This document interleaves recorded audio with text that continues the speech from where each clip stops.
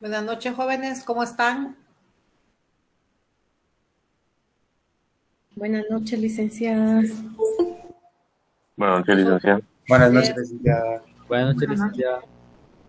Gusto volverlos a ver, aunque sea por este pedacito de cámara que tenemos acá. Después Buenas de noches, una Liz. semana. Buenas noches, Jorge. ¿Cómo les ha ido? ¿Han estudiado? Más o menos, licenciada. Buenas noches, Lee. Buenas noches, Lluvia. Buenas noches, licenciada. Pues, buenas noches, patojos. Bueno, aquí estamos otra vez. Buenas noches, Buenas licenciada. Buenas noches, Karen. Buenas noches a todas y a todos. Voy a terminar 10 minutos antes para resolver las dudas. Yo sé que hay dudas con respecto a los laboratorios que hemos venido trabajando. Jóvenes, el otro lunes, o sea, el lunes siguiente es el examen parcial. ¿Ya tienen el calendario? ¿Ya se lo dieron? ¿Ya, licenciada? Ya, licenciada. ¿A qué hora es el examen, jóvenes? A las seis. A las seis. A las 6 en punto, ¿verdad? 18 horas. Si les digo a las 6, van a ser licenciadas de la mañana o de la tarde. Entonces, 18 horas mejor. Em, vamos a trabajar, el examen es a, la- las 18 horas del día lunes 4 de octubre. Ese regalo del Día del Niño que van a tener ustedes posteriormente hoy. Está linda, licenciada.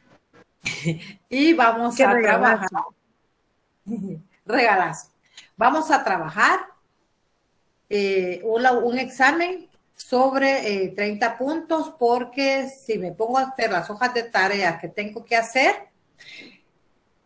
mire, pues por la por el tiempo, la situación que estamos viviendo, yo siempre en otros años he trabajado las hojas de estadística como em, trabajo de laboratorios para el segundo parcial.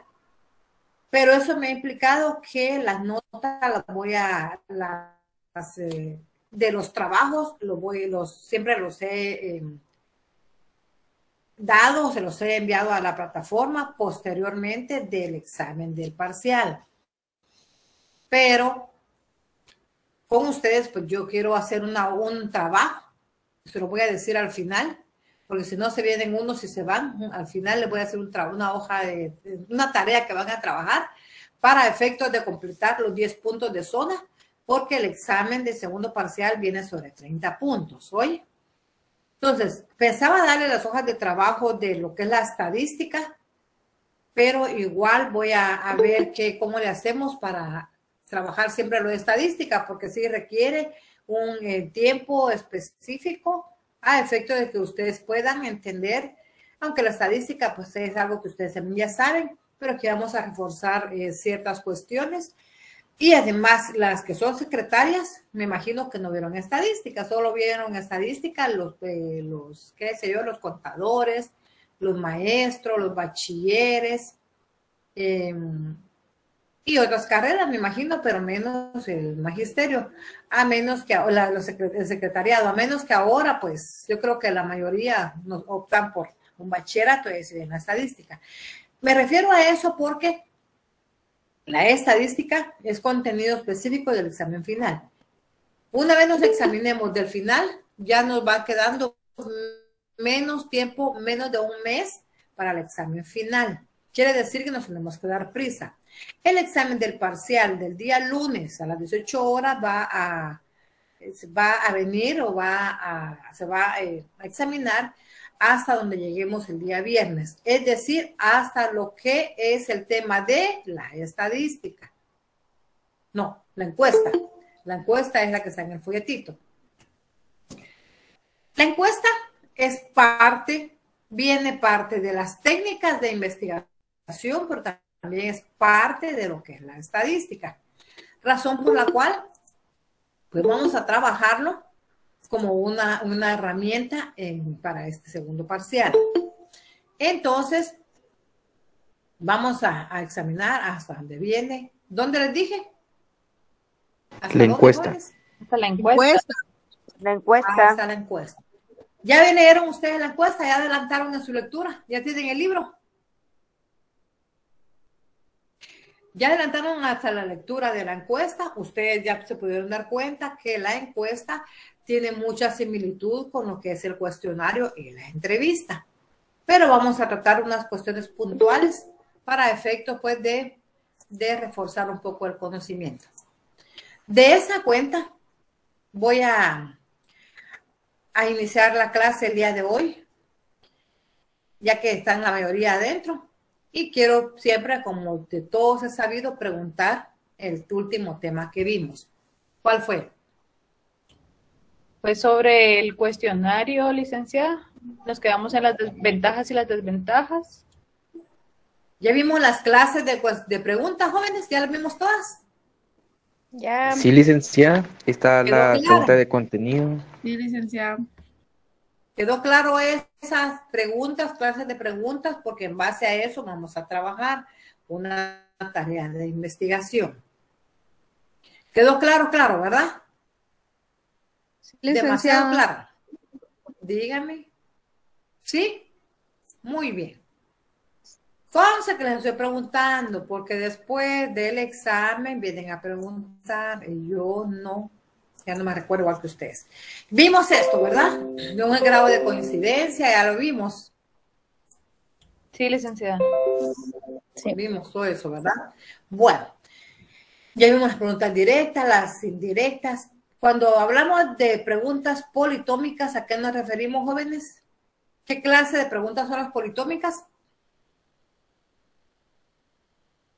Que podemos elegir entre diferentes opciones.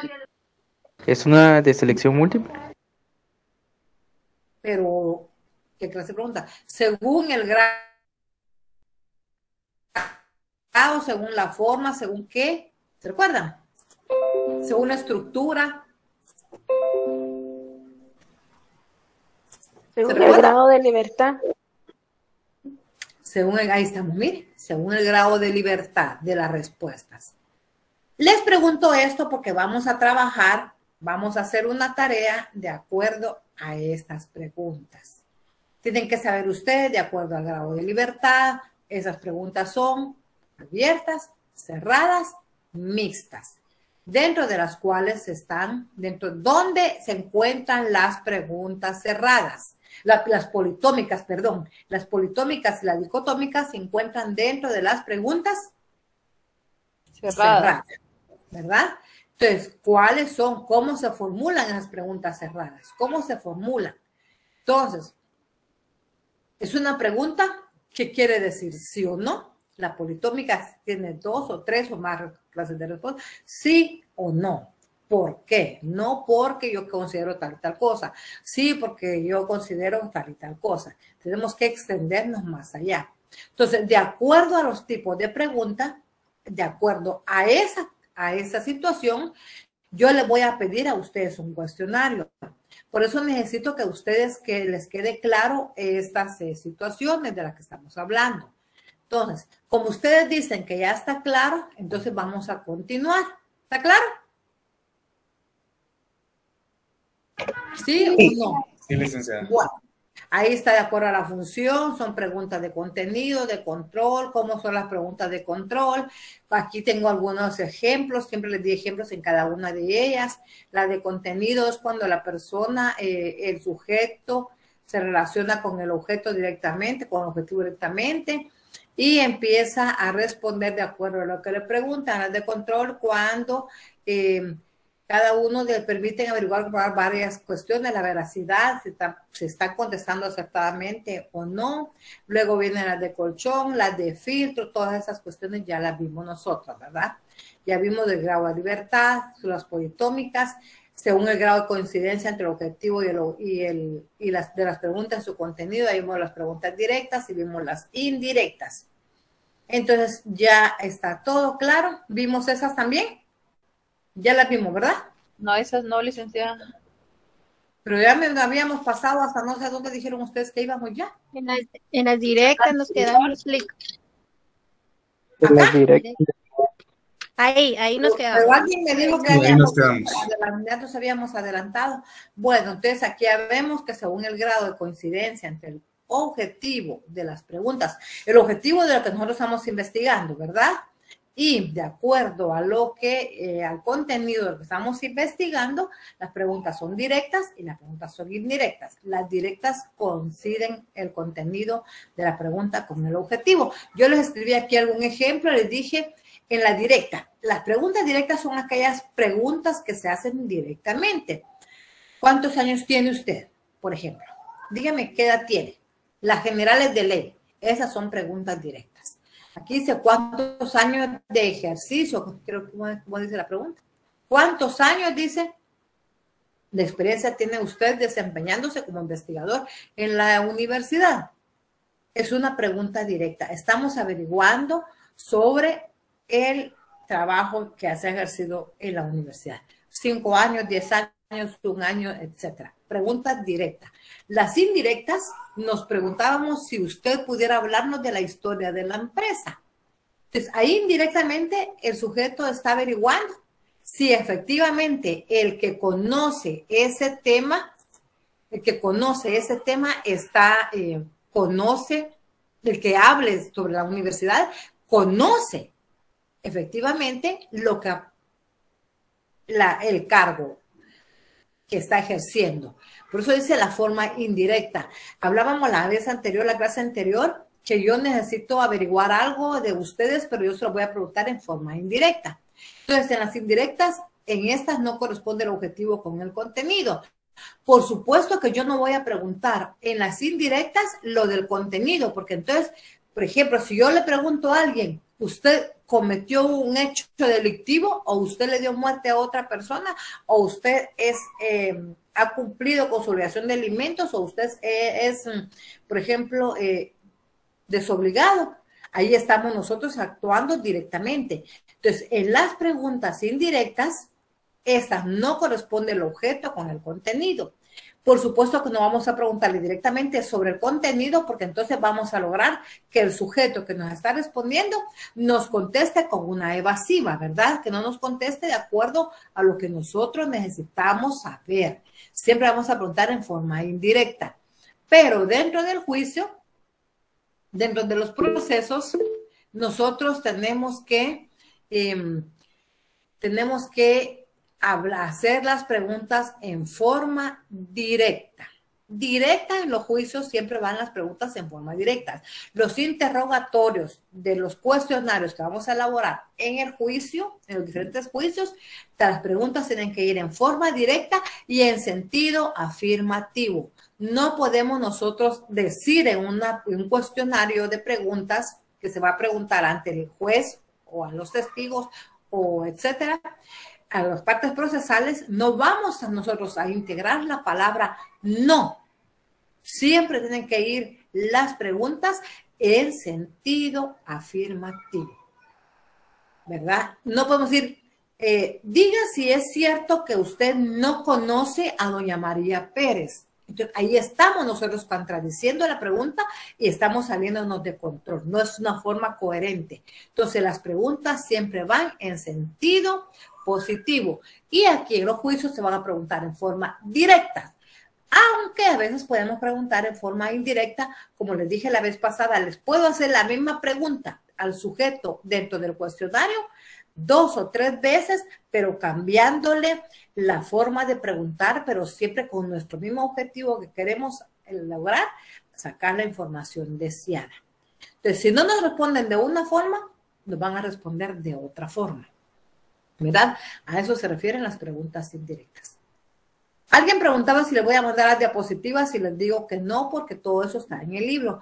Y yo les doy tiempo a ustedes para que ustedes copien, para que ustedes ahí, pues, ustedes ya saben, son diestros, son, tienen, son maestros en la tecnología. Entonces, por eso no les voy a mandar diapositivas. Todo está, lo mismo que les estoy dando está en el librito.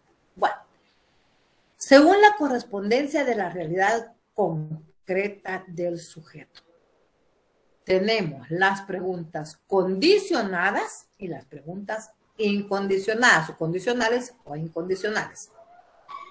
En las condicionales siempre va a haber una condición. Ahí hay una condición del sujeto. Hay una condición que, nosotros, que siempre cuando respondemos damos una condición. Se indagan opiniones del sujeto respecto a las situaciones que manejaría el contenido progresivo de lo investigado. Por ejemplo, ya tengo aquí varias, varios ejemplos. Si todos los hombres fueran fieles, me casaría. Es una condición. Quiere decir, ¿usted por qué no se ha casado? Dígame usted, me responden, le pregunto. Dígame usted por qué no se ha casado. Con una, me responden con una condición. Si todos los hombres fueran fieles, me casaría.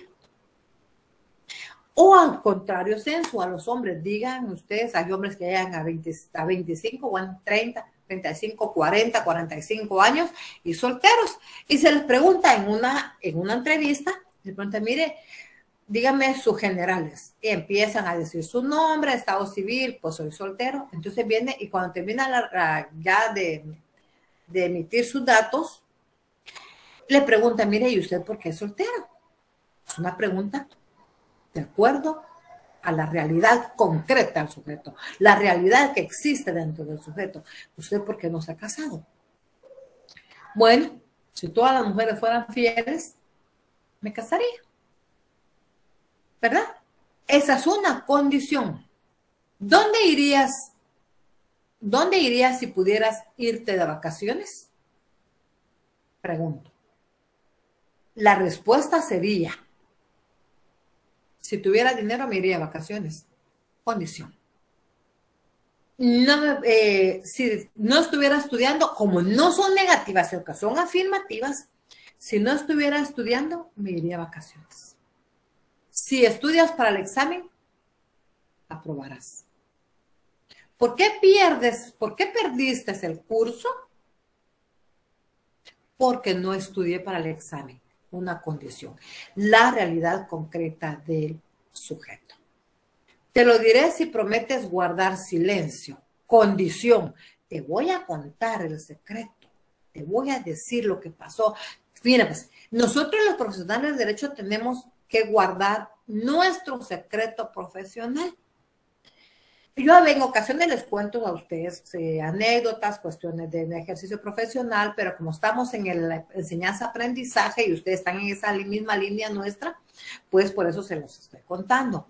Pero tenemos como condición nosotros que tenemos que guardar nuestro secreto profesional. Es una condición.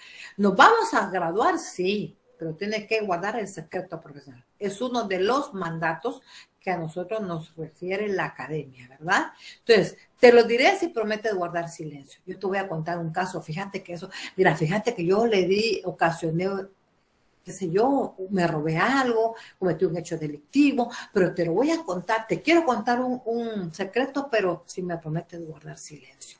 A esa se refieren las preguntas y respuestas condicionales, la realidad concreta del sujeto. ¿Habría llegado a tiempo si no hubiese qué? Salido, si hubiese salido antes. ¿Por qué vienes tarde? ¿Por qué vienes tarde? Es que había mucho tráfico. Pero ¿por qué no estabas temprano? ¿Por qué? sobre todo en las audiencias, miren, a las audiencias dicen, cuando uno llega a un minuto pasado de la hora de la audiencia, a uno le declaran rebeldía, a otro lo sacan de la, de la sala de audiencias, etc. Entonces, habría llegado a tiempo si hubiese salido antes. Entonces, ¿por qué venís tarde? Es que había mucho tráfico. Ah, vaya. ¿Por qué vienes tarde? Había mucho tráfico. ¿Por qué no llegaste a la audiencia? ¿Por qué no llegaste a tiempo a la audiencia?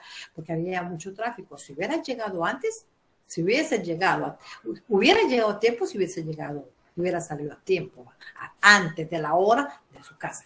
Entonces, a eso se refiere la condición, que una pregunta trae una respuesta condicional cuando la pregunta es de la realidad concreta del sujeto. ¿Estamos claros, jóvenes? En este sentido. ¿Sí o no? Sí, licenciada. No, el trabajo, data, eso. Muy bien.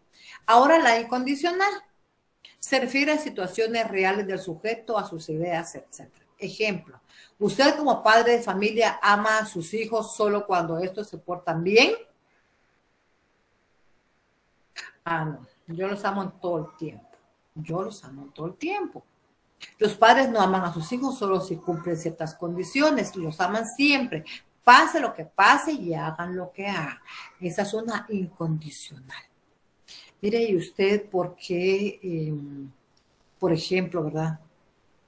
¿Usted sería capaz de irse, de abandonar a un bebé? Les hago la pregunta, ¿serían ustedes capaces de abandonar a un bebé? No. No, no, licenciada. Más. ¿Por qué? No, ¿por qué? Es una incondicional. ¿Por qué no? Por valores. Porque es atentar contra la vida de otra persona, poniéndolo en riesgo. Porque es nuestro hijo, digamos. Porque es inhumano. Esa es una incondicional. No lo podemos abandonar porque si nosotros lo abandonamos, cometemos una serie de situaciones. Primero, cometemos un hecho de víctima, ¿verdad? No podemos porque es inhumano, ¿verdad? Atenta contra los derechos humanos, atentan contra la vida, es pecado, dijo. Y una serie de cuestiones que ustedes les tienen que dar respuestas. A eso se refiere cada una de esas, por la realidad concreta del sujeto, de lo que yo sé, de lo que yo pienso, de lo que yo opino, de lo que yo, eh, de mis ideas que tengo, ¿verdad? De mi criterio que tengo. A eso se le llama las preguntas de la realidad concreta del sujeto. ¿Estamos claros, jóvenes? Sí, licenciada. Licenciada. Según la naturaleza de lo preguntado, gracias según, según lo que yo estoy preguntándole, según lo que yo pregunto, según lo que yo quiero preguntar y lo que yo quiero escuchar, según el objetivo que yo necesite lo sacar de la pregunta. Tenemos las subjetivas y las preguntas objetivas. Las subjetivas, las que se realizan sobre el criterio, opinión o valoración sobre un asunto. Ejemplo, ¿Cómo es su, conducta frente a sus compañeros de trabajo? Yo estoy preguntando una subjetiva. Yo les pregunté a ustedes la vez anterior, jóvenes, ustedes cuánto tiempo le dedican a su estudio. ¿Cuánto tiempo? Uno me dijeron dos horas, otro me dijeron 15 minutos, otro me dijeron media hora, otro me dijeron un estudio, otros pensaron, no dijeron porque es subjetivo, es lo que yo pienso lo que yo considero. Entonces, ¿cómo es su conducta frente a su compañero de trabajo? Yo les escribo aquí, pues amable, enojado, estricto, colaborador, comunicativo. ¿Qué más podemos decir? Subjetivo. ¿Y ¿Cómo soy yo? Pues eh, solidario, acomedido, ¿verdad? De, se dijeran eh, sinónimo de colaborador, etcétera. Es subjetivo, de acuerdo a la naturaleza que yo quiero preguntar. Yo quiero preguntarle al sujeto si el sujeto, hablando ya del sujeto de derecho, yo quiero lograr que el sujeto de derecho me responda lo que yo necesito saber. Por ejemplo, en un juicio, vamos a ver, eh, díganme ustedes de un juicio. Participamos. Un juicio que ustedes quieran saber. ¿Qué preguntaría yo en un sujeto de derecho? en juicio. ¿Se les ocurre algo? ¿Alguien?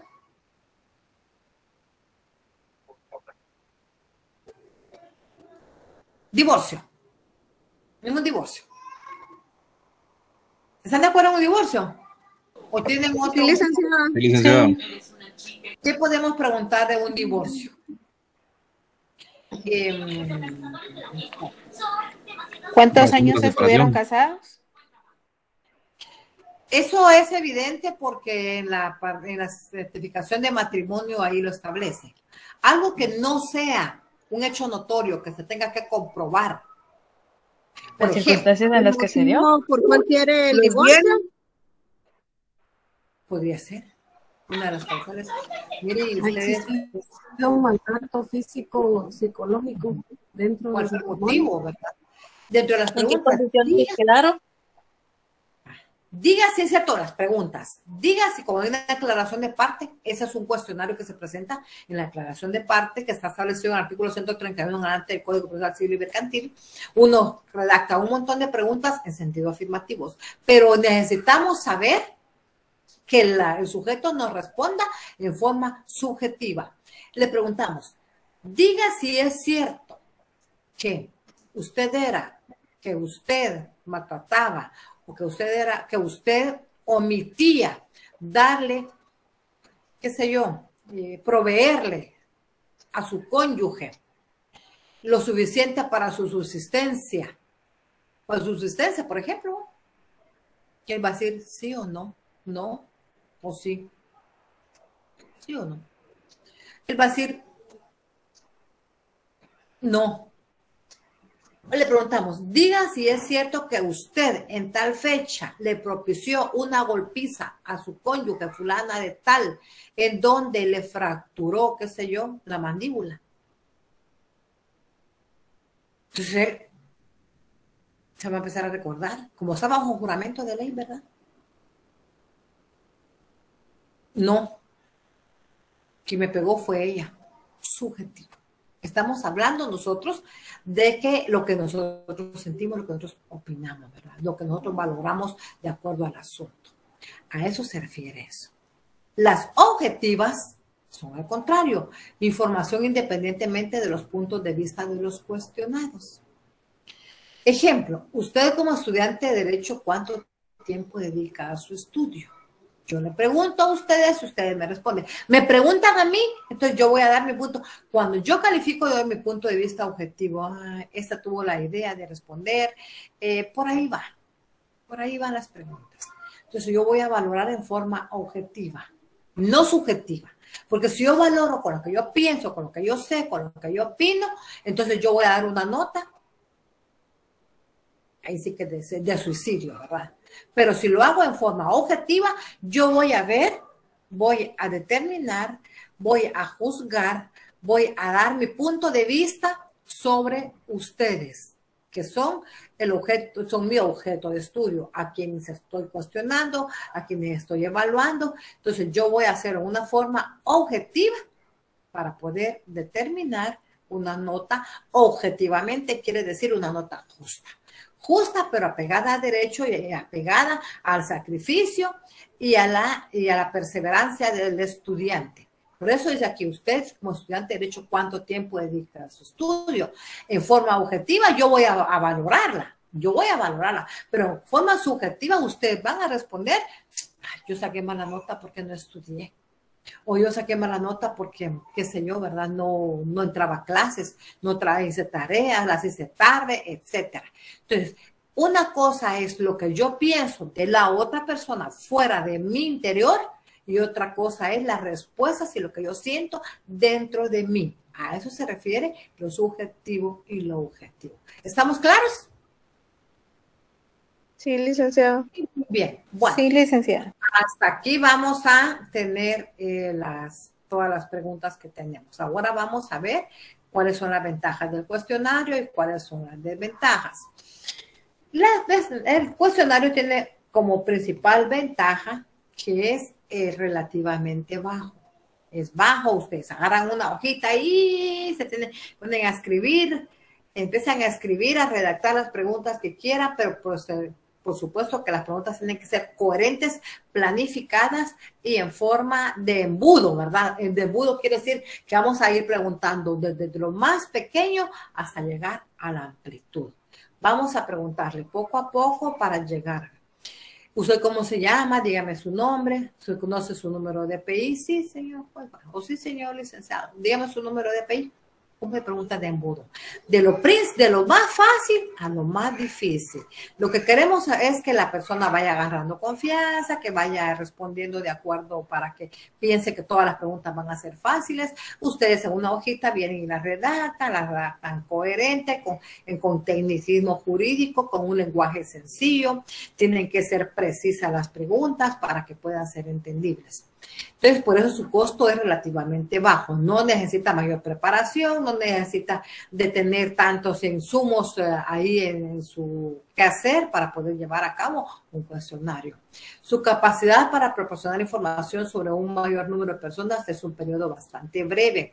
Yo voy a sacar información de acuerdo a las respuestas que me dan.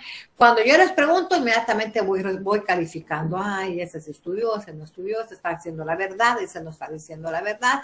Aunque considere que está diciendo la verdad, el sujeto siempre los, los, los que cuestionan en este caso nosotros los profesionales del derecho, vamos a saber si nuestro cliente o el adversario está diciendo la verdad, de acuerdo a las preguntas, porque en un juicio se presenta una serie de preguntas, pero ambos abogados tanto como de la parte contraria como de la parte acusante o de, o de la defensa, van a llevar un, con una, su hojita. Cuando uno a unas audiencias siempre lleva unas hojitas. Y las respuestas que va haciendo el otro va escuchando y la va notando. La va notando, la va notando y tiene que estar pendiente de lo que está diciendo, de la información que está proporcionando, el que está dando las respuestas. La facilidad de obtener, cuantificar, analizar, interpretar los datos, lo, eso es lo más fácil posible, ¿verdad? Podemos decir, bueno, de 30 preguntas contestaron 10, de 30 contestaron 30 buenas, de 30 contestaron 10 buenas, etcétera. Es fácil cuantificar e interpretar todos los datos. Una persona dijo que sí, otra persona dijo que no, eh, tantas dijeron que no saben, otras eh, no, no emitieron opinión, etcétera. Es fácil interpretar y analizar los datos obtenidos y la información. Menores requerimientos en cuanto al personal, pues no es necesario adiestrar a encuestadores o entrevistadores. Mayor posibilidad de mantener el anonimato de los encuestados, de los entrevistados, de los cuestionados. Eliminación de los sesgos que introduce el encuestador o el que está entrevistando. No podemos, no, no tenemos, eh, eh, eliminamos los sesgos, o sea, no nos inmiscuimos tanto, pues. Damos las preguntas y se encargan de responder el que está haciendo las respuestas, dando las. Ahorra tiempo, es poco el tiempo, aporta información estandarizada, facilita la confidencialidad. Yo respondo, como estoy solita con mi cuestionario, me empiezo a responder las preguntas. Y a veces me arrepiento, la borro, regreso, la vuelvo a contestar y a veces digo, o sea, no es así, no soy seguro, pero Tim Marín de dos y al final la dejo y resulta que me salió buena. O a veces estaba bien, pero yo la taché y resultó mal. Entonces, facilita la confidencialidad. Somos, tenemos la confianza de estar respondiendo. ¿Cuáles son una de las desventajas? Responde a objetivos descriptivos. Impide profundizar en las respuestas. Es superficial. Resulta difícil de realizar. No cualquier persona puede elaborar un cuestionario, una serie de preguntas. Y como no puede uno, porque es un poco difícil de realizar el cuestionario, tenemos que saber cómo. ¿Cómo lo vamos a hacer? Es que nosotros vamos a aprender acá a hacer preguntas para cuando ustedes ya estén en el área profesional, ya puedan ustedes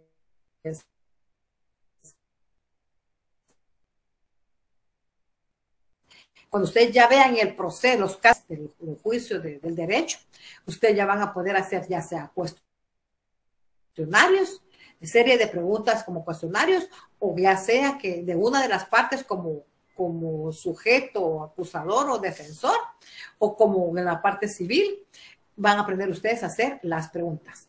Aquí también les escribí otra definición que el cuestionario es una un proceso estructurado de recogida de información a través de la cumplimentación de una serie de preguntas. Dígame, Juan Luis.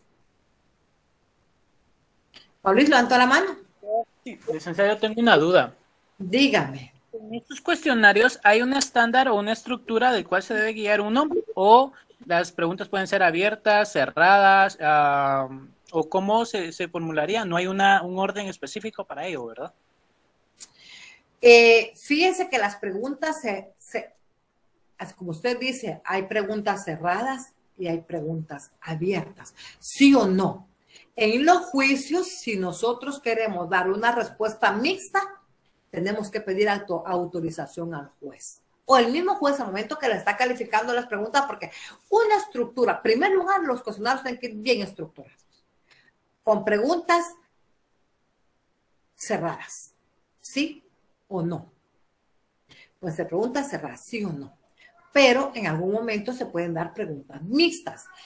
Cuando el juez califica las preguntas que están bien estructuradas en sentido afirmativo, coherentes, de acuerdo al proceso que estamos llevando a cabo nosotros, viene el juez y califica previamente esas eh, preguntas, las va calificando una sí, otra no. Por eso es importante hacer una estructura muy bien definida de las preguntas del cuestionario. Se va a estructurar las preguntas en forma cerrada, sí o no. Dice, responda, le dice el juez al interrogado, responda un sí o un no. Y en su momento le dice el juez, mire, si usted no entiende la pregunta, me, la, me, pide que se la repita, yo con mucho gusto se la repito. Viene el juez, por eso es importante que las preguntas sean claras, precisas y concisas. El juez viene y le lee la pregunta otra vez el interrogado y le dice al juez, si usted, usted puede contestar sí o no, pero si usted, si usted necesita ampliarse, lo puede hacer. Entonces ahí está una cerrada, sí o no.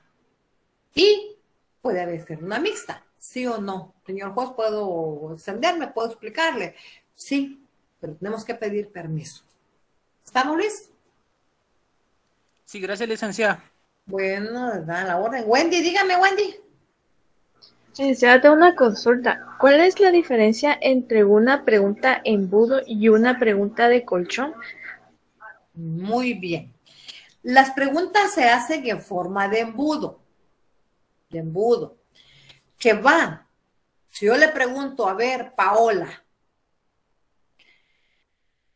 eh, Wendy Paola, le pregunto de embudo, em, dígame su estado civil. Soltera. Em, ¿Tiene hijos? No. Mm eh, saber. La de Budo voy, supongamos que usted tuviera hijos, o supongamos que usted fuera casada, no tuvo hijos, pero que usted está a punto de divorciarse y que mandó, despreció a su cónyuge, lo echó, le pegó, lo agredió, qué sé yo. Entonces yo vengo y, le, quiero lograr conseguir, yo soy la defensa, por ejemplo, yo soy la defensa de su esposo, supuesto, entonces vengo yo y le voy a hacer una pregunta de embudo, porque la pregunta de embudo van de lo más simple a llegar a lo más complejo. Las preguntas. Esto se refiere como al método inductivo, licenciada, donde partimos desde la base, desde la base de, desde una base para extendernos a lo más amplio. Así es, así es, así es. Y la de colchón, ¿qué dijimos que era la de colchón, Wendy Paola? Son las preguntas que son como para tranquilizar a las personas, como preguntas introductorias.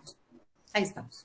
Todas las preguntas son de embudo. Vamos de lo más facilito a llegar a lo más difícil. Las de colchón, le preguntaría, no es lo mismo en un juicio hacer preguntas de colchón. En un juicio no podemos hacer preguntas de colchón. Las preguntas de colchón, por ejemplo, una entrevista.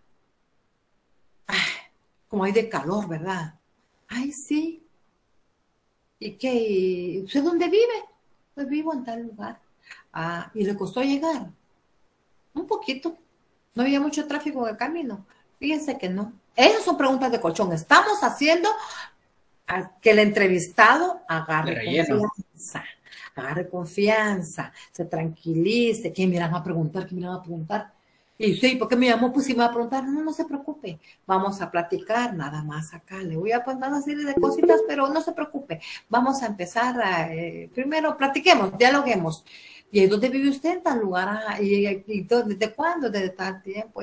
entonces, las de colchón son para agarrar, la gente tenga confianza en el entrevistador para que cuando lleguemos a las preguntas directas de la información que necesitamos, esté tranquilito. A eso se refiere, Wendy. ¿Estamos claros, Wendy? Sí, muchas gracias. Solo en estas cosas, en, el, en las preguntas de colchón, entonces nunca lo vamos a usar en un juicio, solo serían más aplicables en las entrevistas, entonces.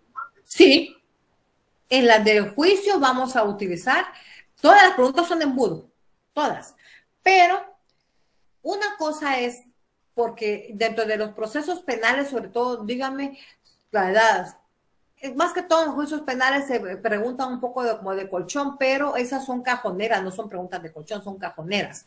Una cosa son las preguntas de ley y otra cosa son las preguntas de colchón. Ay, como hay de calor, ¿tiene calor? Ay, sí. Y mire, ¿y no le costó llegar? Son las preguntas de colchón. En juicio no. En el juicio se van a preguntar, ¿ok? Cajoneras, por ejemplo, dígame su nombre, fulanito tal, su edad tal, estado civil, generales de ley. Pero esas no son para tranquilizar al cliente. Las de colchón son en las entrevistas para lograr la información que se va a tener. Licenciada, perdone, entonces para comprender, eh, para yo tener bien claro esto, las de embudo son las, eh, básicamente las que eh, nos van a ayudar a resolver los casos. Las, mm, de, las de colchón es para que el cliente tome confianza, pero estas no se dan en los, mm, en los, mm, en los, en los juicios, dentro de lo que son, y, pues, los, las de cajón son las que em, se presentan, pero para básicamente para buscar información personal que sí o sí nos va a servir en el juicio. Mire, las preguntas, hay preguntas cajoneras que, que no, también no son preguntas, sino, bueno, son preguntas porque el juez le dice, van a, van a, van a cuestionar a un testigo, a una de las partes, por ley, por ley, el, la parte que está sentada ante el, frente al juez tiene que dar sus generales de ley. Las tiene que dar. El juez se las tiene que preguntar. Pero ahí ustedes creen que el sujeto está, está tranquilo. Si solamente sabiendo que uno va a un juicio, uno tiembla. Aún los abogados, no digamos las partes. ¿verdad? Aunque uno tenga tanta experiencia, cada juicio es diferente. Siempre cuando uno va a un juicio, siempre los primeros cinco minutos es de, de puros, de puro estrés entonces, eso le ayuda un poco a las, a las partes, pero son preguntas cajoneras, preguntas de ley que no pueden faltar, ¿verdad? Entonces, la entrevista, las entrevistas se dan, por ejemplo, eh, en una conciliación, por ejemplo, en una, en una audiencia de conciliación, eh, eh, dentro de lo que son los juicios, ustedes con sus clientes, los van a entrevistar, tienen que utilizar preguntas de colchón, ustedes van a citar a la otra contraparte para una junta conciliatoria para no llegar a juicio, tienen que utilizar preguntas de colchón. Y en consecuencia, van las preguntas de embudo, van a ir de lo más suavecito hasta llegar a obtener la mayor información. ¿Estamos? Gracias. Bueno, ¿alguien más me preguntó algo? Estamos claros, ¿verdad? Yo le voy a mandar otro folletito, jóvenes, hoy. Les voy a mandar ahí una hojita para que ustedes lean, para que ustedes se orienten un poquito más que es eh, complemento del que ya tienen, pero eh, es una hojita donde ustedes van a poder leer y sacar todas las dudas que ustedes tengan. Bueno, ya vimos las ventajas, las desventajas. El cuestionario es un proceso estructurado de recogida de información a través de la complementación de una serie de preguntas. Reglas para la formulación de un cuestionario. Las preguntas deben ser pocas, no más de 30, no más de 30. Yo en los juicios he presentado hasta 30 preguntas, hasta 35 preguntas, pero dependiendo de la cantidad de casos, de sujetos procesales que haya, porque a veces hay dos testigos, las preguntas se hacen a los mismos testigos, las mismas preguntas pueden utilizar para varios testigos, pero, por ejemplo, en cuestiones de materia de, de laboral, si hay tres o cuatro entidades demandadas y son un sujeto demandante y son tres o cuatro entidades demandadas, yo le voy a hacer diferente, la parte de las preguntas eh, mismas a las, a las entidades distintas, pero también le voy a hacer otras preguntas adicionales a otras, a las mismas entidades.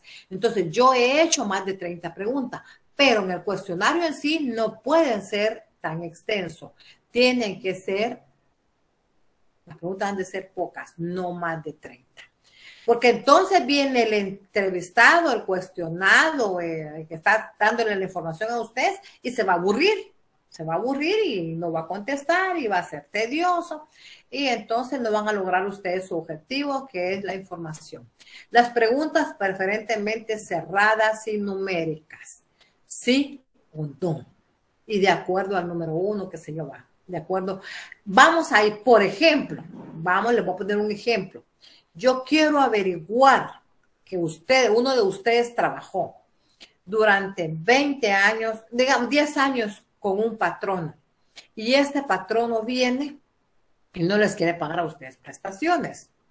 Entonces, vamos a, a hacerle preguntas cerradas y numéricas. ¿Cómo vamos a empezar? Primero, en el orden de embudo y para, como dicen, de engancho, de engancho y cajoneras. Dígame el nombre de su representada. Cajonera, no puede faltar. Porque si nosotros nos vamos directamente a lo que es el tema toral, no vamos a lograr información, porque vamos a ir de embudo, de lo menor a lo mayor. Pues mi empresa se llama la cerveza Mayo, qué sé yo, cervecería Guatemala, Pueblo Campero, etcétera, qué sé yo. Ah, bueno, ok.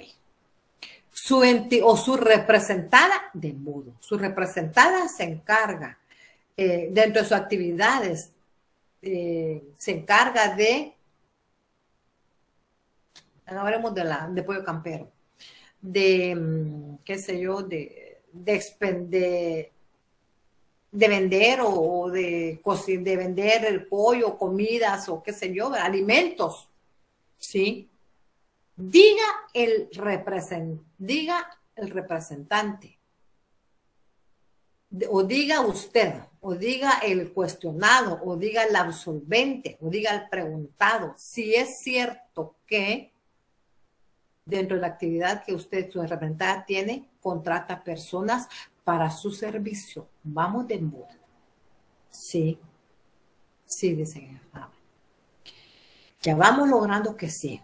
Diga si es cierto que usted contrató al señor fulano de tal una, dos, tres, cuatro, que usted contrató al señor fulano de tal para trabajar como cocinero, o su representada contrató al señor fulano de tal para trabajar como cocinero en tal y tal lugar. Sí, no sé, no tengo conocimiento, puede decir. Pero la debemos de hacer cerradas y numéricas. No podemos salirnos de ahí.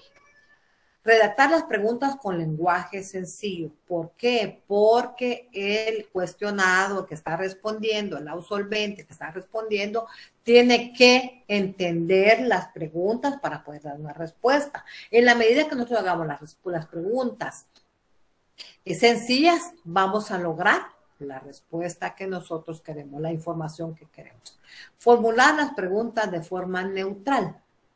No vamos a ir directamente Usted tal, usted neutral para lograr la información. Como que nosotros no somos los afectados de forma neutral. No podemos hacer ni a favor de uno ni a favor de otro. Queremos la información deseada. Evitar utilizar palabras abstractas y ambiguas, contradictorias, oscuras, que no se entiendan, que no sabemos ni qué queremos decir.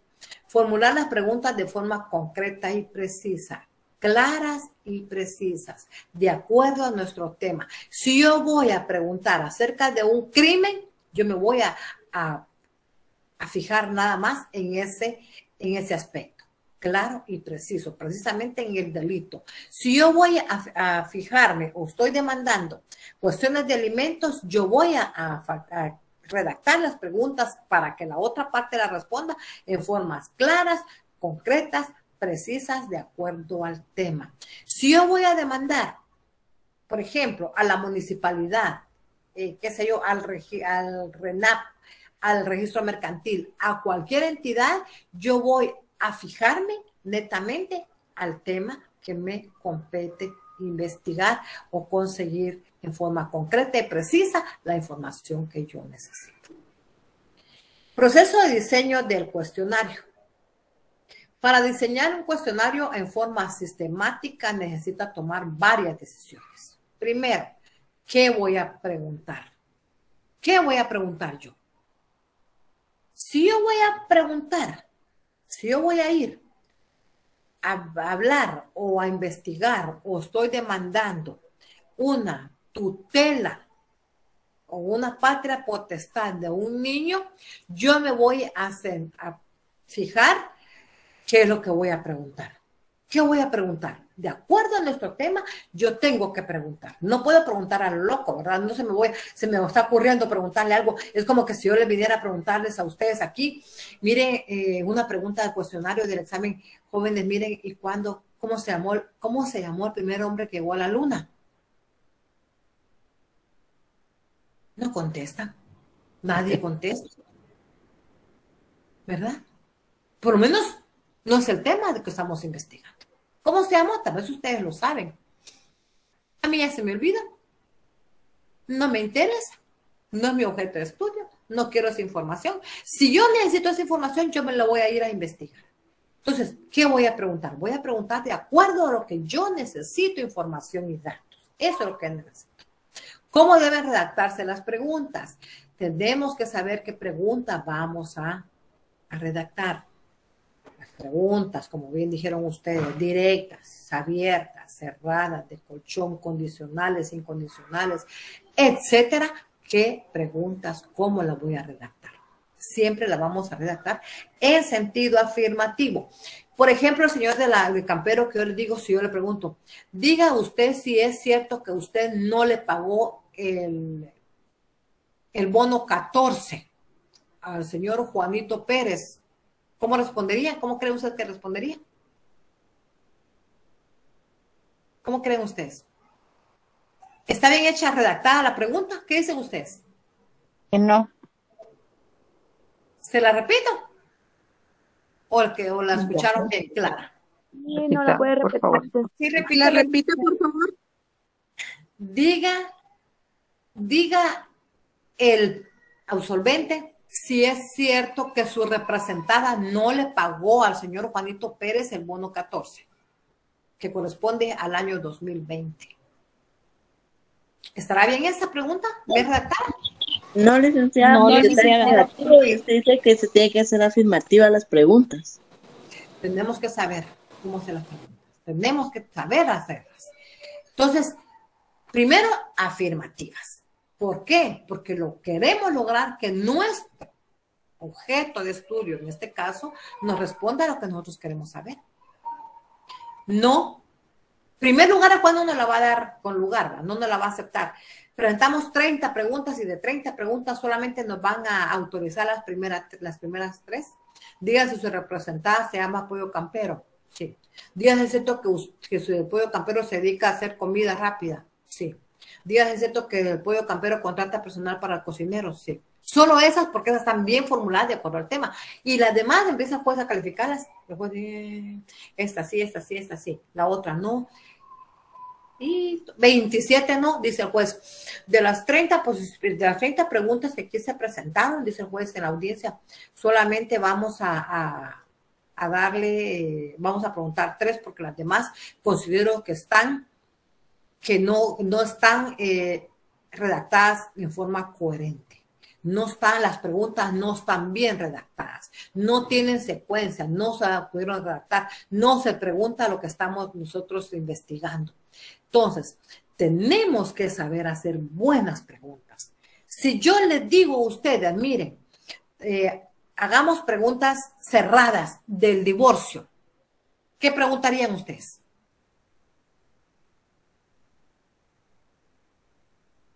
¿Qué preguntaría? A una persona, no en juicio, a cualquier persona entrevistada, ¿qué le preguntaría? ¿Qué le pasa pensión alimenticia al niño, licenciada? Mm, del divorcio. Netamente el divorcio. ¿Se le podría preguntar si está 100% de acuerdo en el divorcio, licenciada? ¿Ha sido agredido físicamente? Ah. Sí, no. ¿Aún ama a su pareja? ¿O por qué se quiere divorciar realmente? Yo preguntaría, ¿está usted de acuerdo con el divorcio? ¿Cuál es el motivo? No. ¿Por qué ustedes están de, ¿Por qué ustedes están de desacuerdo con el divorcio?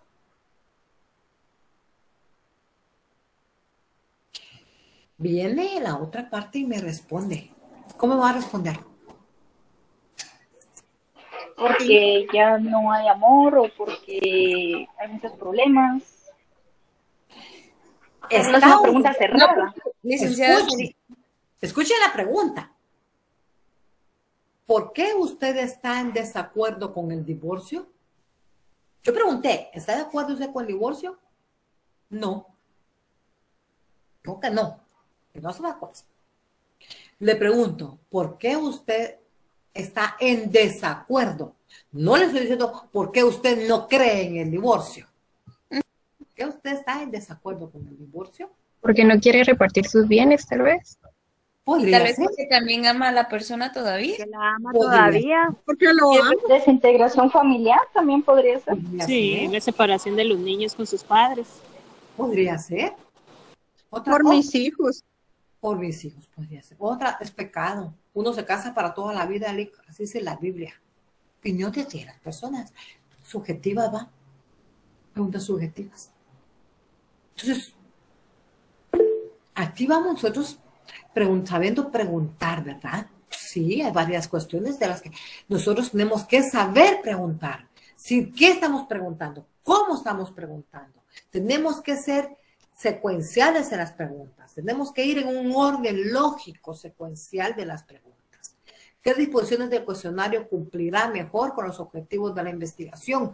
Yo tengo que buscar los objetivos de mi investigación que quiero. Entonces, ¿qué quiero lograr yo? con esa pregunta del divorcio de un mi cliente. ¿Qué quiero lograr? Determino que mi cliente que me está pidiendo el divorcio, la otra parte puede ser que me esté pidiendo el divorcio. Yo llamo a la, a una, a la cónyuge en ese sentido, que fuera el varón, yo llamo a la cónyuge y me dice, no, mire, licenciado, lo que pasa es que yo lo amo.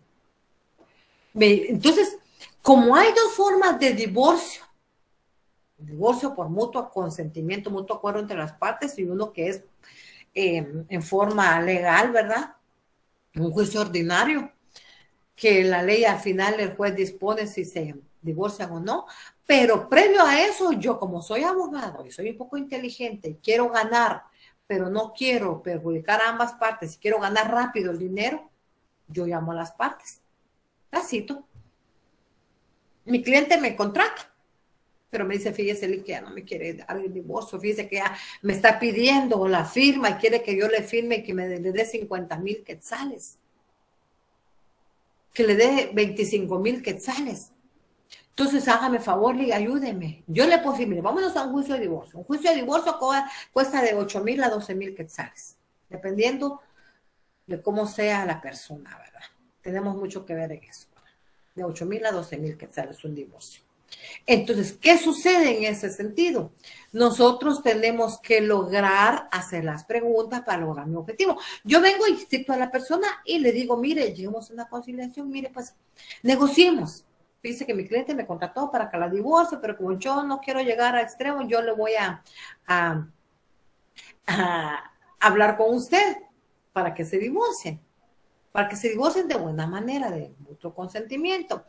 Es que no quiero ley porque mire, pues él no quiere aceptar. Es que mire, pues la ley no establece que la pareja, una de las parejas le pueda dar 25 o 50 mil. No, no, no eso.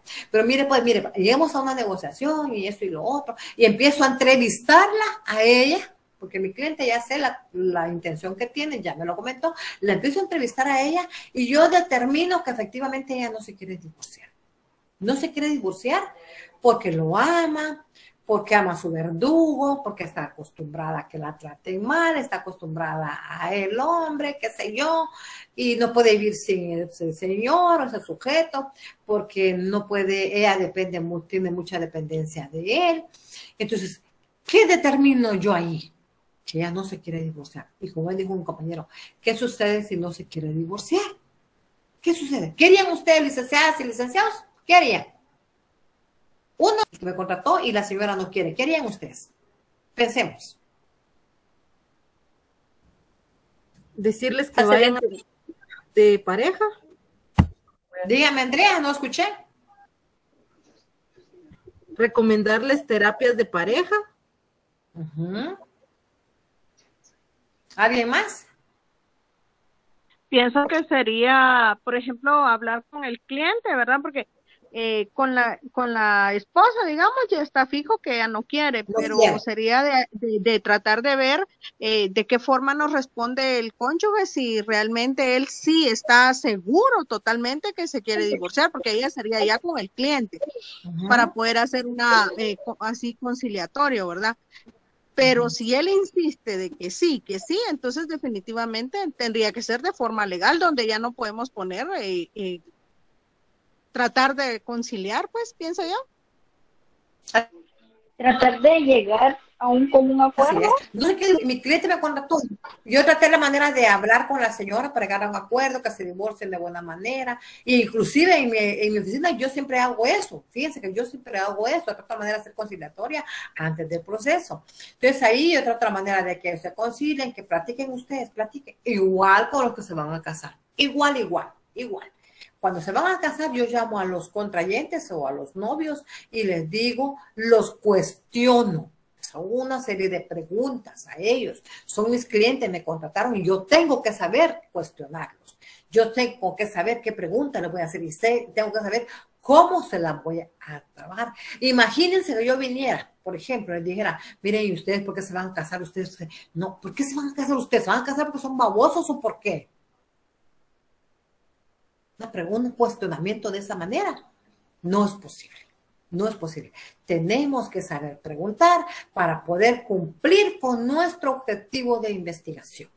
Entonces, nosotros vamos a, a, a cuestionar a nuestros clientes o a nuestras las partes procesales, a nuestros sujetos procesales, para poder resolver un conflicto. Pero vamos a resolver el conflicto de buena lid, de buena manera, con éxito, siempre y cuando nosotros sepamos hacer un buen cuestionamiento.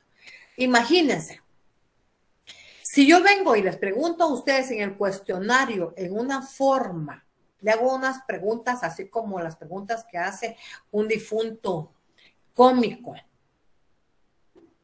que hablaba un montón y que al final no decía nada. ¿Qué harían ustedes? Preguntas cantinflescas. Me, me responden cantinflescamente ustedes, ¿no? O no me responden, o qué sé yo, y, y es una de nunca acabar y al final resultan perdiendo. Entonces, tenemos como profesionales del derecho, si queremos lograr nuestro objetivo, tenemos que saber preguntar cuestionamos, preguntamos, entrevistamos, entrevistamos primero, después cuestionamos.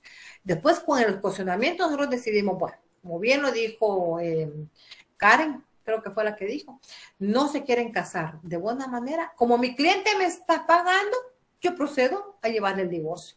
Eso sí, es tanto, porque se van a tardar tanto y al final de eso yo tengo que pensar cómo piensa mi cliente y cómo va a pensar el abogado de la otra parte. Entonces, en el cuestionamiento nosotros tenemos que saber preguntar para lograr nuestro objetivo. Yo tengo que saber, yo tengo que ir más allá de lo que piensa, no solo a favor de mi cliente, sino que cómo va a pensar el otro para poderme defender de la otra contraparte. Dígame, Cristina. Sí. Cristina, perdón, después Karen. Dígame, Cristina. Licenciada, disculpe, hablando de ese cuestionamiento que usted decía, porque es que cuando las mujeres se quieren divorciar, o sea, son ellas las que se quieren divorciar definitivamente, eh, y el hombre es el que no quiere, porque rápido recurren como que al maltrato psicológico y cosas así femeninas, y que, y todas esas cosas como que más fuertes. Pero cuando es el hombre que se quiere divorciar y la mujer es la que no quiere, es la necia, ahí solo es como que vayan a terapia, o son cosas como que más suaves. Ese cuestionamiento es como que, ¿por qué es así tan indiferente? Ajá. Bueno, porque eh, depende, la, depende de los caracteres de cada quien. Depende de los caracteres. Pero si es la mujer que quiere divorciarse y el hombre no quiere, es más fácil. Pero cuando es el hombre que quiere y la mujer no quiere, es más difícil el divorcio.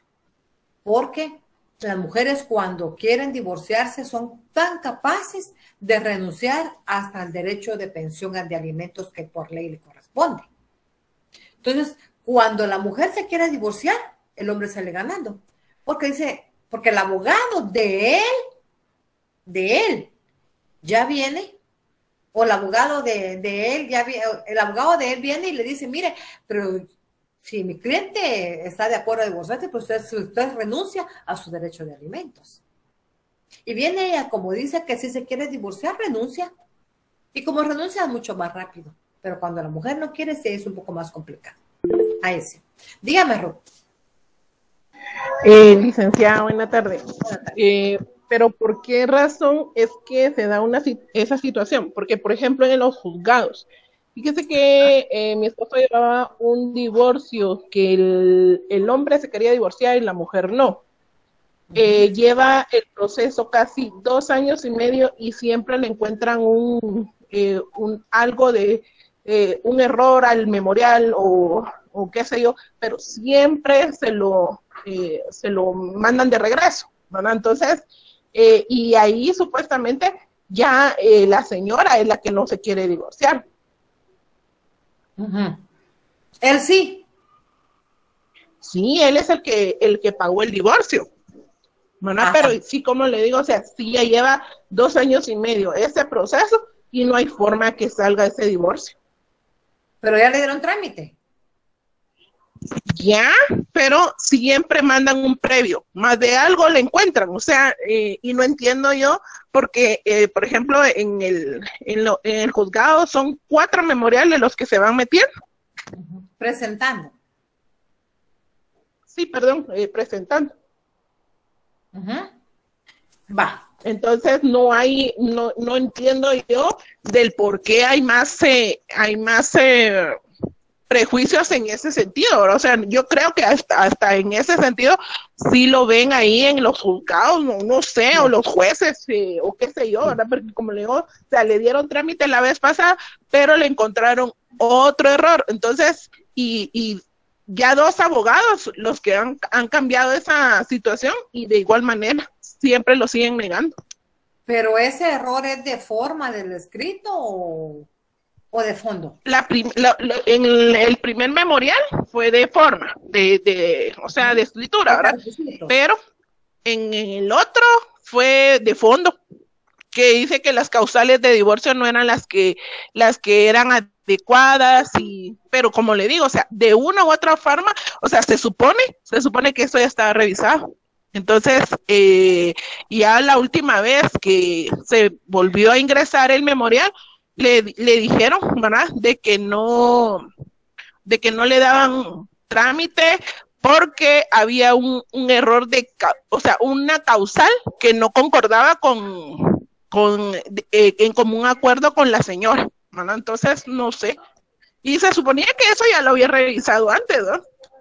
Por esa razón, Ruth, es que los divorcios solidarios son caros, ¿eh? Es por eso porque cómo cuesta que le den trámite en el juzgado. Primero, en segundo lugar, es cuestión un poco de práctica y de procuración. Uno tiene que estar yendo al juzgado y preguntando al oficial, llamar al oficial y decirle, mire, ¿qué es lo que usted quiere acá? Porque yo lo, lo voy corrigiendo varias veces y usted sigue en la misma. Entonces, por favor, dígame, ¿en dónde está el error o cómo que lo quiere usted? Porque a veces son los oficiales los que los que les ponen mucha traba. Y en ocasiones porque los, los oficiales o los juzgados hay amigos de la, una de las partes que se lo hacen cansado a uno de abogado. Así es, Pero lo siento mucho con, con el, el colega. Sí, gracias. El juzgado y que le pida. ¿Qué manda? Sí, gracias, licenciada, le decía. Que vaya al juzgado y que le diga al oficial, dígale que, que qué es lo que realmente quiere o quiere hablar con el secretario o con el juez, lo tienen que atender porque si no hace valer sus derechos ser como abogado también, imagínense, las partes le exigen a uno y le exigen y le exigen y al final no es parte de uno, sino que es parte de los juzgados, ¿verdad? Pero así es. Bueno, ¿alguien más, patojos? ¿Alguien tenía otra duda?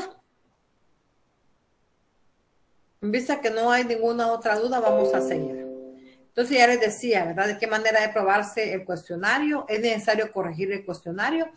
Sí, se puede corregir el cuestionario. En el momento de una audiencia, hay preguntas que uno escucha, que se le olvidó preguntar, pero de acuerdo a lo que está respondiendo el cuestionario, uno por eso cuando a una audiencia siempre lleva una hojita y un su lapicero, unas dos o tres hojas en blanco y un lapicero. ¿Por qué razón? Porque pueden suceder muchas cuestiones. Hace poco estuve en una audiencia y resulta de que el secretario se enfermó de COVID. Yo tenía la aplica, la, aplica es un sobre cerrado donde va la, una, la serie de preguntas, el cuestionario que uno redacta como abogado, lo integra en un sobre, ese sobre, ese sobre lo, uno lo pega, lo firma, yo lacro mis, mis plicas, las lacro. Las lacro quiere decir que las firmo donde, donde está, donde las pega uno, las firmo y les pongo mi sello para que no me la vayan a vulnerar en el juzgado. Resulta que no estaba esa plica, de ese, ese, cuestionario que presenté, no estaba en el juzgado porque el secretario le dio COVID. Entonces lo que hizo, me dijo, pues redáctelas del cuestionario en ese momento, que la redacte. Imagínense, si uno no sabe hacer un cuestionario, no sabe uno preguntar, ¿qué va a hacer en ese momento? Entonces, por eso es que también las preguntas, el cuestionario se puede corregir. Si yo escuché que una pregunta o yo sé las preguntas, siempre llevo una copia de las preguntas del cuestionario que presenté al juez, tengo una copia en mi expediente y yo voy leyendo. Si sé que las demás, el juez no me les dio valor probatorio, yo en ese ratito puedo faccionar otras y se las puedo dar como preguntas adicionales al juez, donde ya corregí las que no me aceptó, yo las puedo corregir. Porque mi objetivo es lograr la información deseada sobre el objeto que estoy investigando. Por eso es necesaria esta situación, ¿verdad? El diseño de cuestionario. Recomendaciones para elaborar un cuestionario. Y eso ya lo vimos. Uno solo ideas de 25 palabras, evitar ambigüedades, espacio para, tiene que llevar un espacio para responder.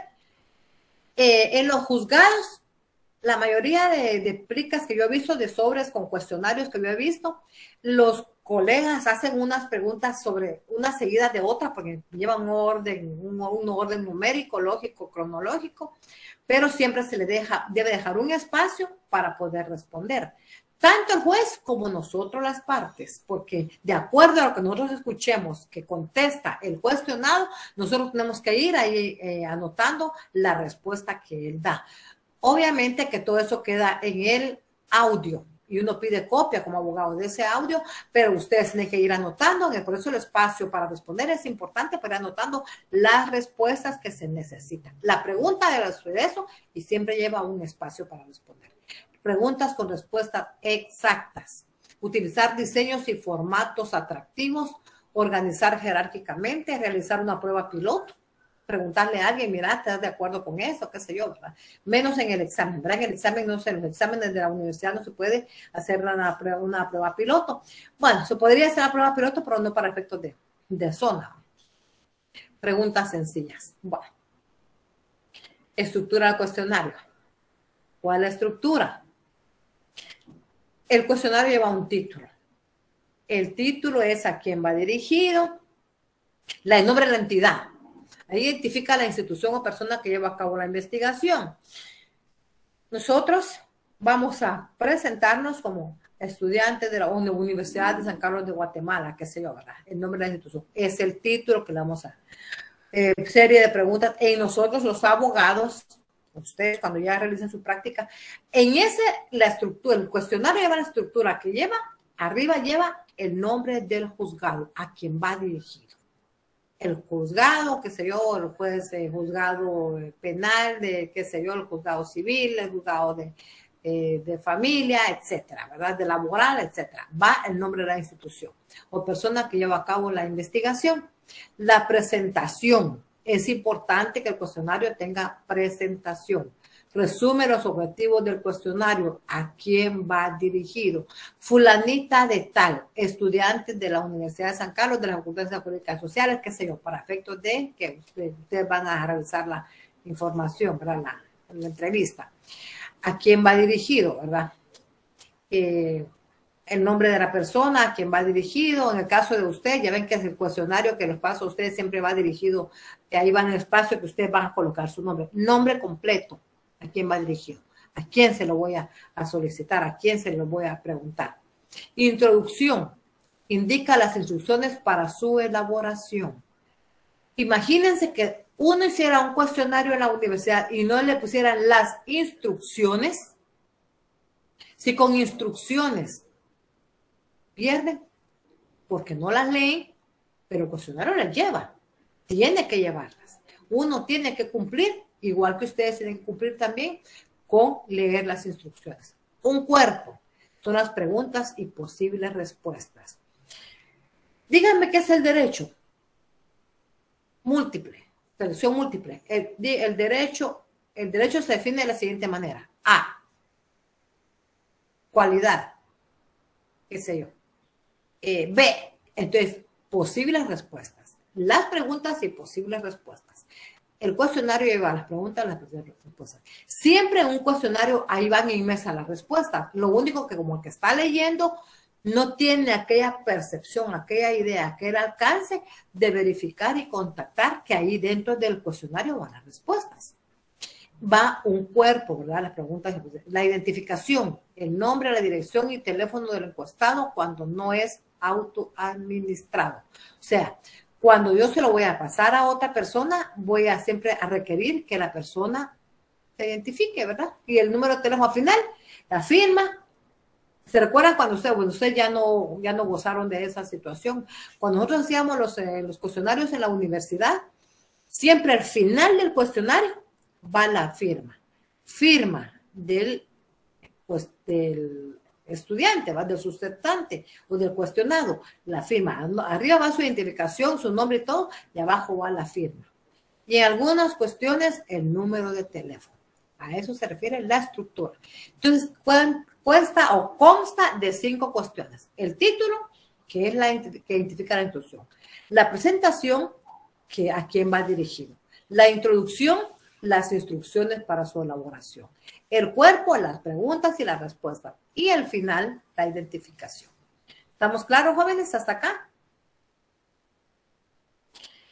Comparación entre la entrevista y el cuestionario. Muy bien. ¿Cuál es la, cómo se va a comparar la entrevista y el cuestionario? La entrevista, tiene la información es más rica y variada. Es más rica la entrevista. ¿Por qué? Porque estamos en un diálogo para sacar información entre dos personas. la persona se extiende un poco más en su percepción, en eh, ahí sí que en sus ideas, en su opinión. La información es más rica y variada. El entrevistador puede influir en las respuestas. Es más costoso. La entrevista es más costosa. Entonces, ¿por qué es más costosa? Porque hay que planificarla, hay que preparar un entrevistador, un entrevistado, los elementos, etc. Como es personal, el entrevistado se siente inseguro. Qué nervios, ¿verdad? Yo no sé si me van a preguntar si la persona que me está preguntando es la adecuada. Yo no sé si voy a poder responderle. No sé ni qué me va a preguntar. Entonces, es, mantiene inseguro, se siente inseguro. Existe un entrenamiento. Yo no me voy a ir a entrevistar con alguien si no tengo una preparación. Me tengo que entrenar. Dígame, Ruth. Ruth Yesenia. No, no, licenciada, yo no, no le... Vaya su manita, por favor, porque ahí me, me quita la atención. Bueno, entonces, vemos acá la otra comparación, el cuestionario. El cuestionario solo recoge información esencial, lo que le estoy preguntando, nada más. Dígame tal cosa, nada más, información esencial. Es impersonal y directo. No va a haber un diálogo con otra persona, en directo, es impersonal. Lo puede responder, imagínense ustedes, impersonalmente lo responden y directamente va a ser ustedes, lo responden y luego me lo envían. Es más extensivo y barato. El cuestionario es más barato que la entrevista más costosa. Es más extensivo. Yo le puedo preguntar al entrevistado 10 preguntas y me tardo unos 40 minutos les pregunto a ustedes 30, 30 preguntas y en media hora, ¿verdad? O en 20 minutos, o qué sé yo, en 40 minutos, que es el, tiempo máximo. Entonces, es más extensivo y barato. El entrevistado puede sentirse más seguro en el anonimato. La LIC no me está viendo cómo, estoy yo respondiendo mi examen. No me está viendo la LIC.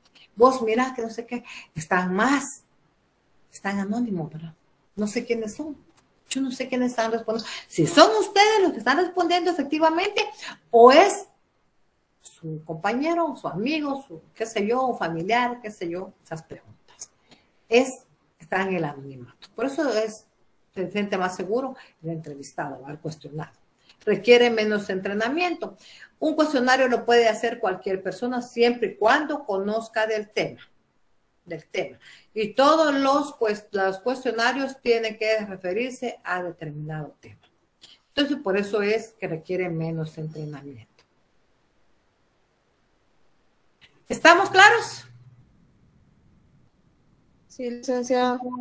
Bueno, aquí les tengo una tarea, una realización de tarea de las preguntas del cuestionario. Por favor, chicos, atención.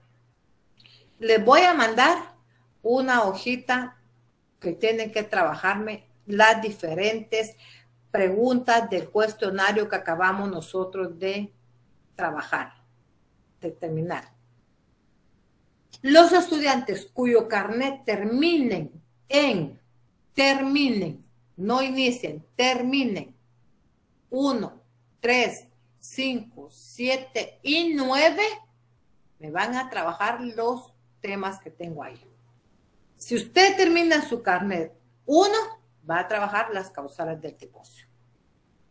¿Cuáles son las causales del divorcio? Si las sabe, si la gente las conoce, preguntas, háganse la idea que ustedes le están realizando preguntas a un entrevistado. Ustedes ah, con su, qué sé yo, con sus familias, qué sé yo, con amigos, pregúntense esas cuestiones. ¿Usted sabe de las causales del divorcio? ¿Conoce alguna? No. Pues sí. ¿Podría usted indicarme algunas? ¿Qué sé yo, ¿verdad? Preguntas de acuerdo a las que, a todo lo que hemos visto antes. Si su carnet termina en tres, van a, en tres, van a trabajar en maltrato infantil.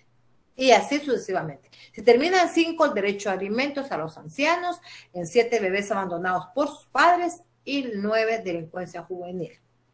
Si el carnet de cada de ustedes, de alguno de ustedes, termina en dos, 4, 6, 8 y el 0 van a trabajar los siguientes temas. Averiguar, investigar, indagar, cuestionar, preguntar sobre, si es el 2, la violencia intrafamiliar.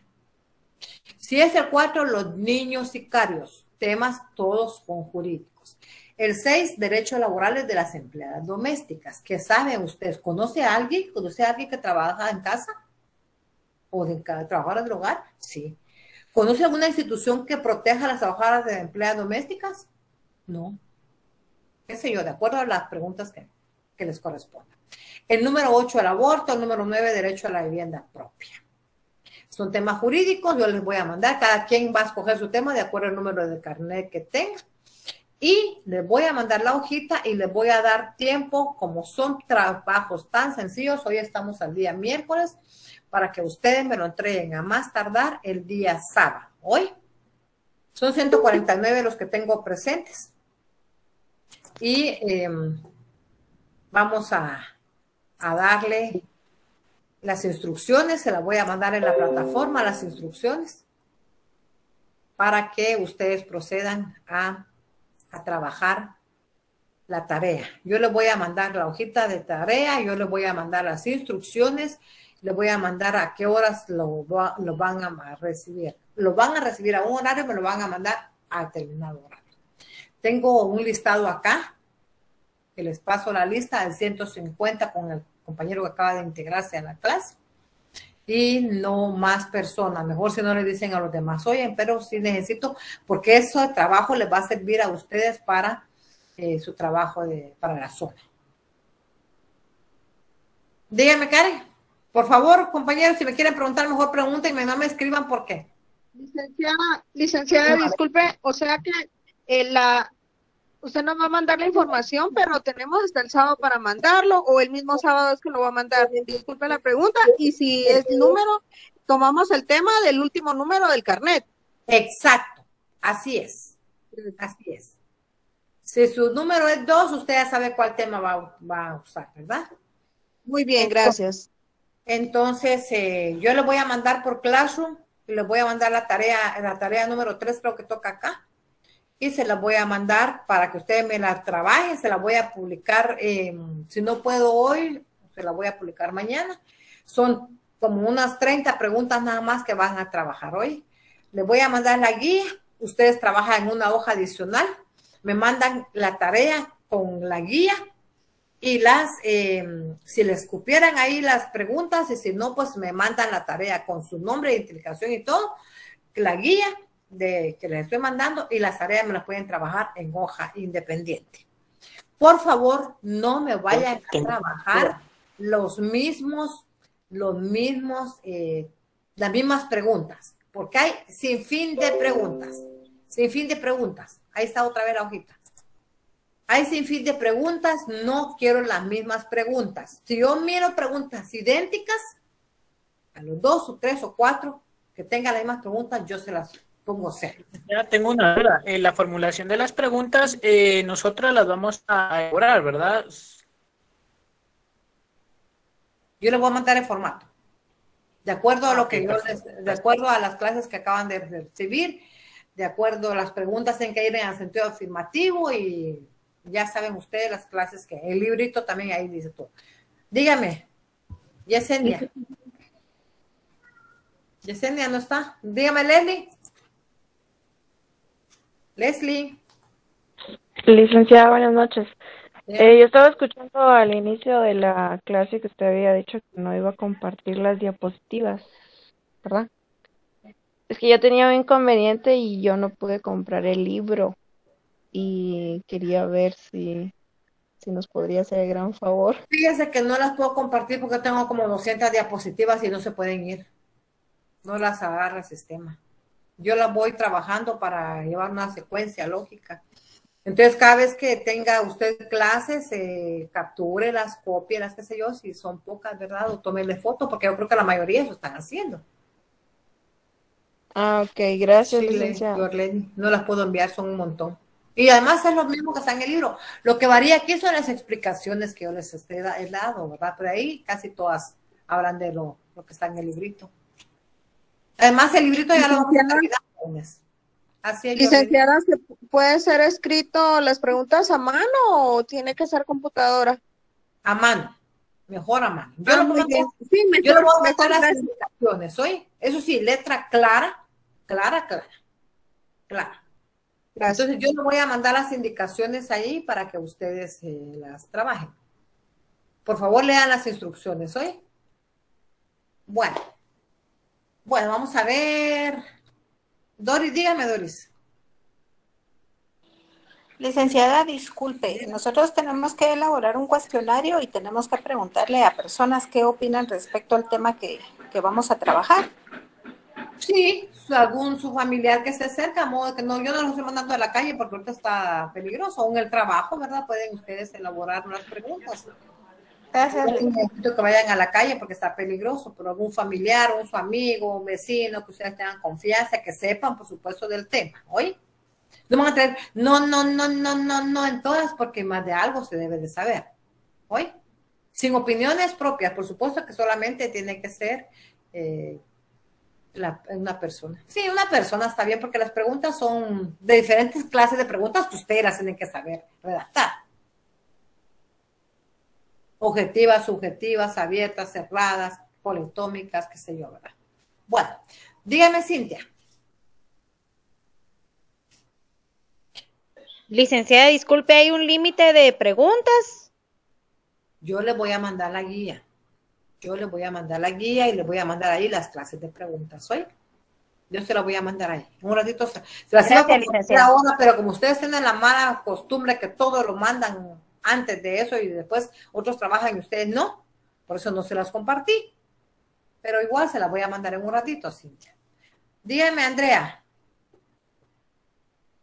Licenciada, buenas noches. Disculpe la molestia. En las instrucciones que va a enviar también va a decir a, qué hora tenemos que entregarlo el sábado. Sí es. Ahí va. Ahí va. Ahí ok, muchas gracias. Ahí las instrucciones. Muy bien. Dígame, Ruth Yesenia. No, no, no, no, no, no está ahí, no he levantado la Bien, la tiene levantada. Bájenla o se la voy a quitar. Dígame, Astrid. Dices ya porque ya estoy intentando y no, no hay modo que se, se baje. Ay, déjela, no tenga pena, ya vamos a salir. Dígame, Astrid. Gracias, licenciada. Licenciada, según entendí, las, las preguntas van a mano y tenemos que enviarle el archivo con respuesta, ¿verdad? Así es. ok, gracias. No creo que en el archivo vayan a caber algunas preguntas, ¿verdad? Pero si ustedes quieren, las pueden ampliar. Bueno, vamos a hacer una cosa. Yo les voy a mandar las instrucciones, de repente las trabajamos dentro del mismo formato, ¿verdad? De repente en el mismo formato se pudieran, pero si no, pues trabajenlas a mano, les toman el script que dicen ustedes, ¿verdad? Y mandan la, mandan la, la guía y me mandan una foto del trabajo que van a realizar. Lo que me interesa es que ustedes aprendan a hacer preguntas. Eso es lo que a mí me interesa hoy.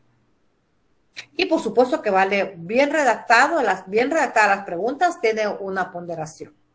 Si las tienen mal también, de cero.